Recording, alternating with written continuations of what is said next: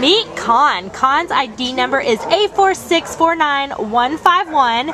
And Kahn, we think he is a Maltese mix. Someone might mention that he might have a little schnauzer, but he's, he's definitely a Maltese mix. We think he's about three years old. He came in as an owner surrender on November 2nd, and he weighs about 14 pounds. And Kahn here, right now, you can see he's pretty chilled out. He's a little shy. He doesn't really like being at the shelter. Who can blame him? But once he warms up to you, as he has with some of our volunteers, he's very loving and very sweet.